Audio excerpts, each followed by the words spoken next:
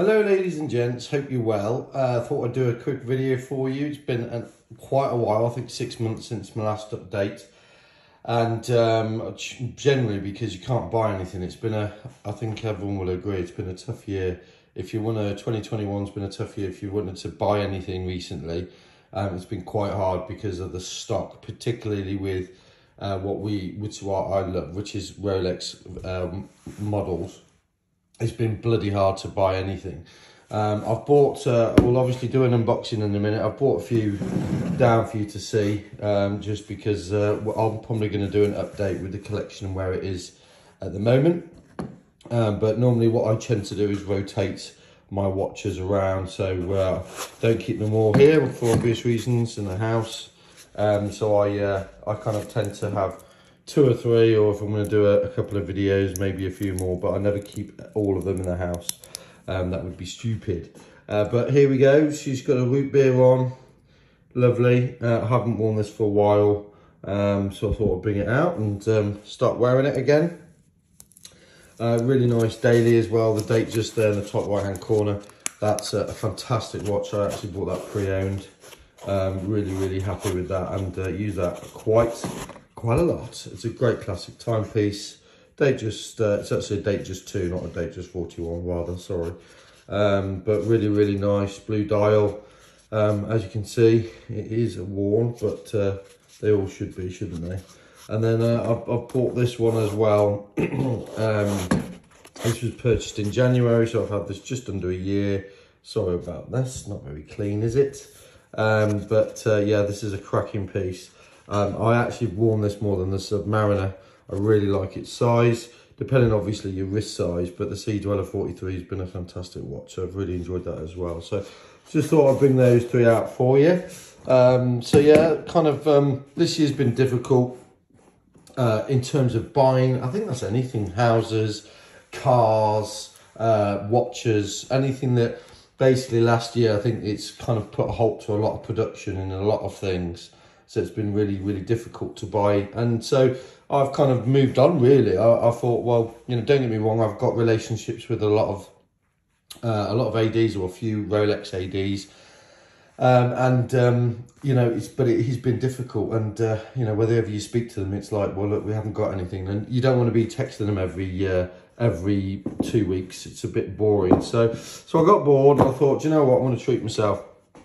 So I don't know if you've seen a video, but I've actually got a Zenith El Primero Chronomaster in rose gold. And I have to say, I do like my rose golds, obviously with my, my root beer and uh, my Zenith. Um, and this this came up, this was actually a used watch. Um, so I bought it on a very well-known online retailer and they're massive. So we'll probably know who they are. And um, it just it was priced fairly well. So I thought, you know what, actually for a classic watch, which we'll see in a minute, um, I thought was really good value for money. So, so here we go. So what we've bought is a Breitling Navitimer Kapow. Look at that. But it is the uh, B01. So it's got the in-house movement with Breitling. So really, really, really smart. Uh, let me just give that a bit wipe quickly. Really smart um, watch. Beautiful. Um, so I want to put it on the wrist and tell you what I think of it. so it's a 43 mil, some of the 46s, so the worlds of the 46. This is a 43 in rose gold. That is stunning. And I did buy it pre-owned. It is immaculate. So uh, the, the only thing that's worn on this watch is the actual leather strap itself. Everything else, the actual case, everything um, it's probably not a watch that was used daily. So even by the look of the strap on it, uh, is um, it's in fairly good working order. So yeah, really happy with the condition of the actual uh, watch and the actual main case itself.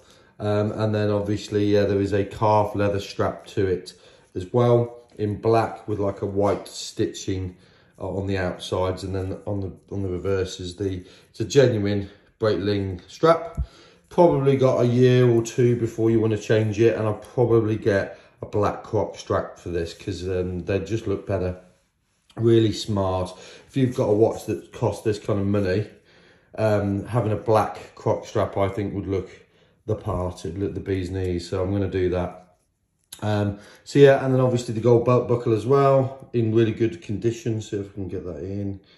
Is that working? Probably not. But yeah, basically, lovely, lovely piece. I'm not a big Breitling fan. This may sound stupid. I'm not a big Breitling fan in terms of um, I don't like a lot of their models. However, one of the reasons I like Rolex and Zenith and now this particular watch is because I like anything that has been around a long time. So the Navitimer, the Navitimer came around, I'm just going to put it on my wrist, hang on. The Navitimer came around in, I think it was the 50s and 60s. And to be fair, the design of the watch has not really changed in that time. So what you see here, that is gorgeous. Really, really nice. What you see here is pretty much the same as what it was back in the 50s and 60s. So made for aviation, made for pilots, proper pilots watch.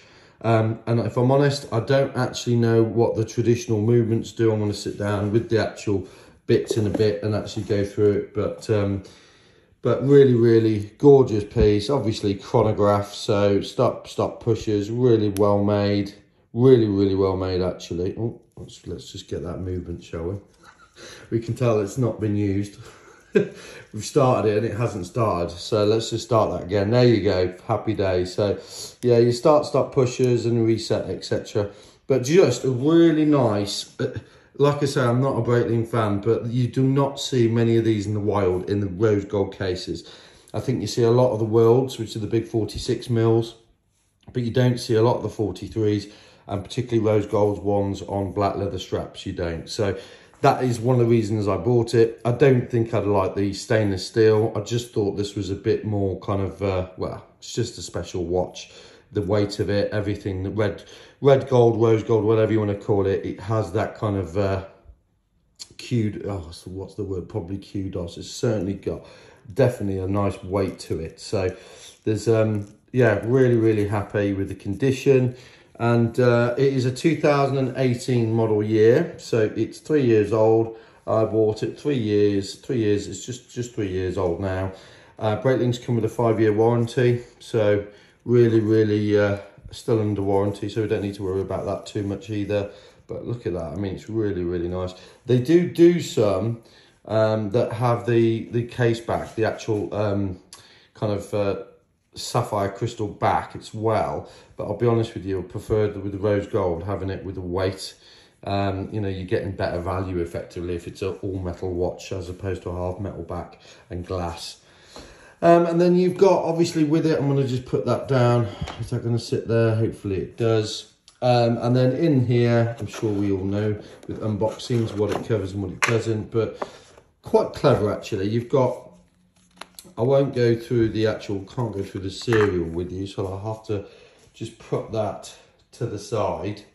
But basically, that there is effectively a digitalized card, like a warranty card. So it tells you obviously the make, the model, the year of manufacture, everything. Um, and that is almost like a digital card. So that's quite smart. That goes in the back of the actual what the warranty card uh, itself. And then you've got obviously your slide rule instructions, uh, your international warranty, and then just below there, that is your kind of, uh, I'll just open it up for you.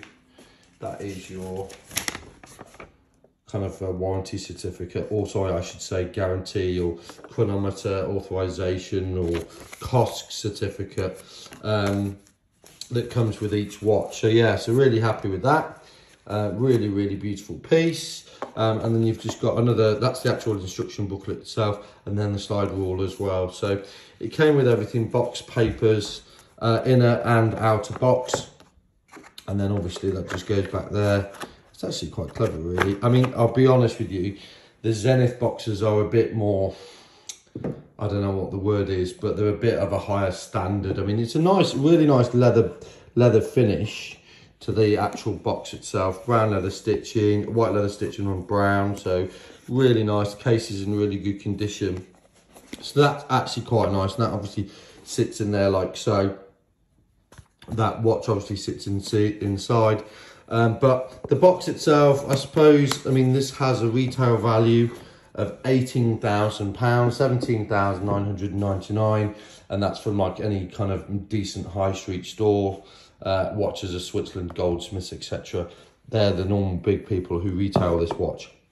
You would think for £18,000 um, you would get a slightly different box, but it's you're buying the watch, not the box. So, you know, it is a bonus, I think, if you get a nice box, but uh, it's not essential.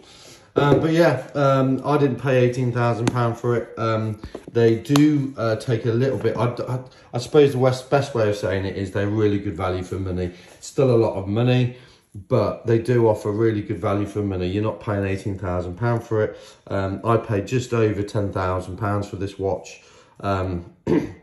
So I don't really like to have any watches over 15 grand, if I'm honest with you, purely from an insurance point of view. Um, just uh, they're a lot easier to insure when they're less than that value. Um, but yeah, really, really, I'll take that orange thing away because it's not very nice to look at. But yeah, really, really smart, beautiful. Uh, I love the um, the red, uh, the red second hand, and then obviously your it's a panda or reverse panda. So black black dials and then white sub dials, and they've got the gold kind of uh, numeric indices, etc. But really really beautiful well made. And like i say never never had a i had a breitling navitimer many years ago. Uh, ended up selling it and then moving on to an Omega. Um, but it is i just thought it was just a bit different. And a 43 mil on the wrist actually doesn't appear that big. So let's just put that on again. Sorry guys guys and girls nice looking watch so yeah really really happy um, like I say, a lot of the Breitlings have got ETA or used to have ETA movements. I think Breitling now, ever since last, certainly the last eight, ten years, they make in-house movements. So you're obviously getting a bit more of a premium branded uh, movement rather than an ETA. Um, so that's a bit of a bonus, especially if you're spending this kind of money. But uh, there you have it, guys. Um, it, there is a new addition to the collection. Um, I'm a little bit off because I haven't done a watch review in ages, so apologies if my grammar and uh, my kind of uh, all my abbreviations might be incorrect. I just haven't haven't done what a watch review for ages. So thank you for uh, thank you for watching. Um, obviously, if there's any comments, love to uh, I'll uh, answer back if I can, and uh, hopefully in the new year, like I say, in the new year we might be able to get a few more watches. It's been really difficult this year and I think probably anyone who watches this channel will agree it has been like you I don't think I've had one. I've had a um, a Rolex Sea Dweller which is the one above that you see there. Um, and that is it. There's there's not been anything else. And that's purely down to a supply issue. Um, and obviously the increased demand it's just gone a bit crazy. So I think everyone wants a stainless steel Rolex at the moment which makes watches just like this a little bit better for value for money. So, uh, so yeah, if you don't want to wait eight years for a Rolex, then get yourself a nice Breitling, get yourself a nice Zenith, and um, thank you very much for watching the channel, and hopefully we'll speak to you soon and see you soon. Cheers, guys.